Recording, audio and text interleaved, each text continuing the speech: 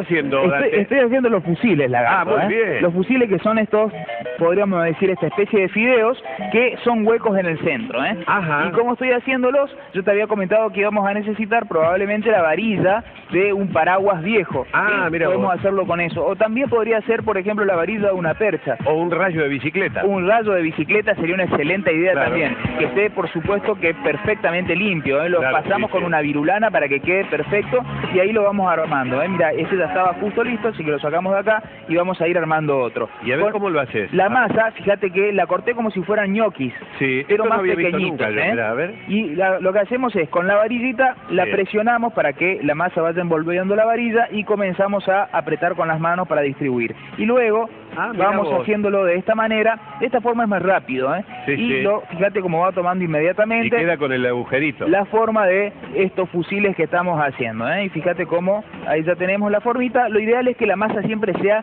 un poquito pequeña, que no sea tan grande Tan porque nos va a costar un montón hacer, sino el fideo si la masa es muy larga, lagarto. ¿eh? Claro, exactamente. Entonces tiene que ser preferiblemente corta, ¿eh? Fíjate cómo queda, ¿eh? Qué lindo. Ahí está. Así que bueno, yo me quedo acá haciendo estos fusiles. El estofado está en marcha, que me lo está eh, moviendo el, mi, mi secretario. Sí, este es el cocinero de tres manos. Exactamente, exactamente. ¿eh? Sí. Ahí está, lo vamos revolviendo, ya está casi listo. Fíjate cómo quedó bastante, pinta, ¿eh? quedó bien seco, ¿eh? bien seco, eh, con todo el jugo y el sabor del tomate, Bueno. el pollo. Mirá cómo ya se está desarmando, que justamente es lo que yo deseaba lograr. ¿eh? Claro. Eh, ahora, la, la pasta es preferible que se seque un poquitito, ¿no? Sí, es, lo ideal es dejarla, fíjate cómo ya están un poco secos. Mirá Claro, que acá yo- porque tenemos iluminación especial. para- Claro, fíjate para que, que yo agarro el fideo de la punta, lagarto, yo agarro el fideo de la punta y no se dobla. Apenita, apenas, apenas, apenas, apenas. ¿eh? Eso es porque ya está seco, mira este como queda durito, Pero si le ¿eh? pones el hierrito en el medio queda más firme todavía. Claro, por supuesto. Un rayo de bicicleta.